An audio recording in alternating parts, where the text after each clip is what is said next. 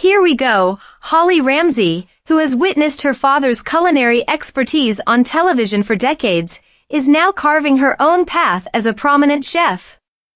In her debut video, she meticulously guides viewers through the process of crafting focaccia bread, relying on a recipe displayed on her laptop, a departure from her father's kitchen demeanor.